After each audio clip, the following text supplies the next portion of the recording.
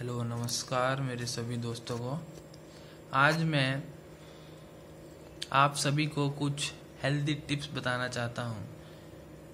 क्योंकि मैं एक आयुर्वेदिक स्टूडेंट हूँ तो आयुर्वेद रिलेटेड मैं आपको ऐसे टिप्स बताऊँगा जिससे कि आपकी ज़िंदगी में कुछ सुधार हो, आप स्वस्थता की ओर बढ़े।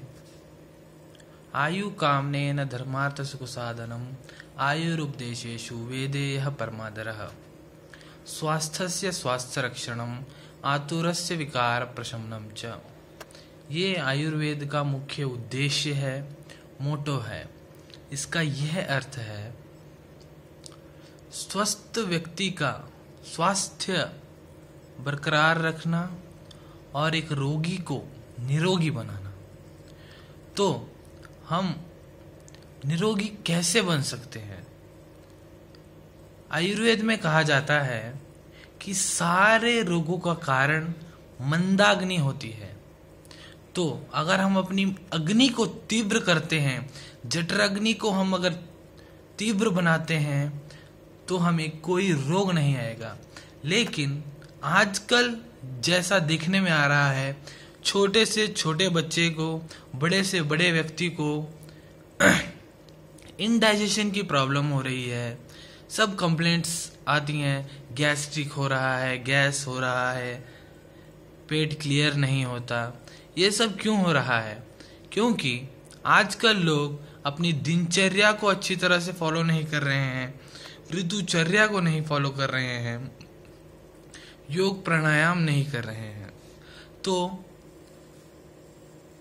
आप अपने आप को स्वस्थ बनाना चाहते हैं तो स्वस्थ रहने के लिए हमको सबसे पहले हमारे जो शरीर के तीन दोष हैं, वात, पित्त, कफ, इन तीनों को समावस्था में रखना पड़ेगा।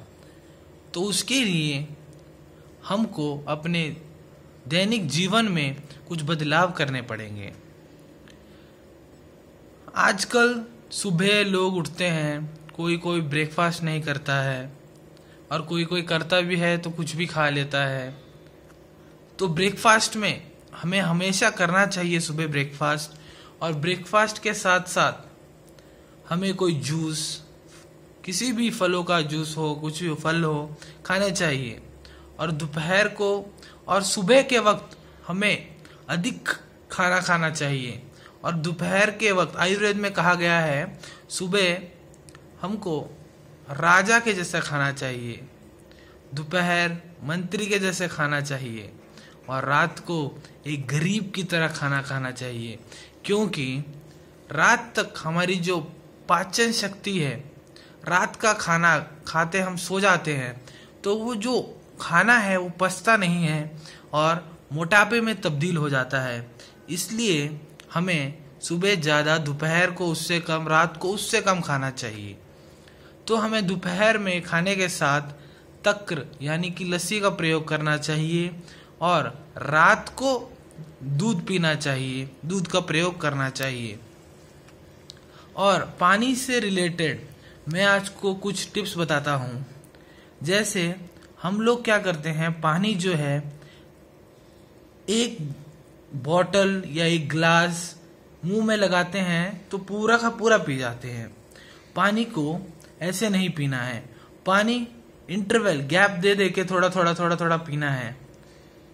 जैसे कि हम पशु पक्षियों को देख सकते हैं, वो कभी भी पानी पूरा एक साथ नहीं पीते। थोड़ा पीते हैं, फिर पाँच दस मिनट बाद फिर पीते हैं। ऐसा क्यों करना चाहिए हमें? क्योंकि हमारा जो जीभ है, जीभ, उसमें से लार प्रोड्यूस होती है, लार, जो कि क्षारीय गुण की होती है। और क्षारीय जब पेट में जाके आम्ल के साथ मिलता है तो वो कभी गैस्ट्रिक या फिर कोई प्रॉब्लम्स को ऐसे आने नहीं देता। इसलिए हमें पानी को हमेशा इंटरवल्स में पीना चाहिए। और खाने के बाद हमें कभी पानी नहीं पीना चाहिए। हम खाने से पहले, आधे घंटे पहले, चालीस मिनट पहले पानी पी सकते हैं। लेकिन खाने के बाद क्या होता है? हमें भूख कब लगती है सबसे पहले तो ये बात है। भूख हमें तभी लगती है जब हमारी जठराग्नि दीप्त होती है, तब भूख लगती है। हम खाते हैं, जठराग्नि दीप्त ही होती है। और जिस प्रकार हम एक जलती अग्नि में पानी डाल देते हैं तो जिस प्रकार वो एकदम से बुझ जाती है तो उसी प्रकार हम खाने के बाद अगर पानी पीते हैं तो एकदम से बुझ जाती है, मंद हो जाती है, और शरीर में कुछ अनेक परिवर्तन आ जाते हैं। तो हमें ठंडा पानी कभी नहीं पीना चाहिए।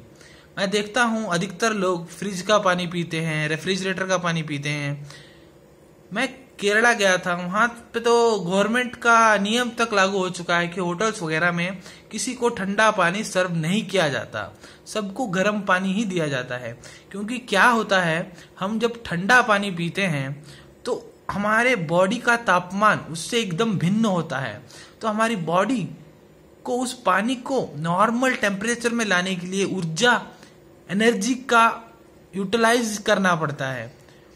तो वही एनर्जी अगर हम वार्म वाटर, गर्म पानी थोड़ा सा पीते हैं तो वो एनर्जी बच सकती है और हमारे शरीर के किसी दूसरे काम के लिए यूज़ हो सकती है।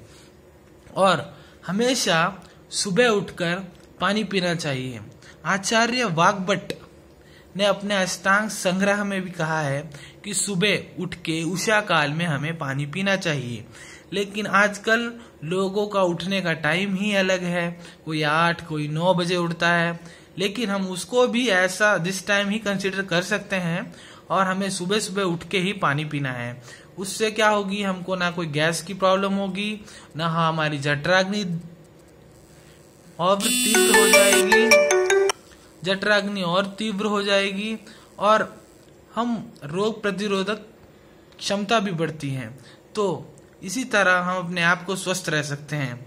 अगली बार मैं आपसे मिलूँगा, कुछ और हेल्दी टिप्स को लेके आऊँगा और आप सभी से उसको शेयर करूँगा। तब तक के लिए स्वस्थ रहें, खुश रहें, खुशहाल रहें। धन्यवाद।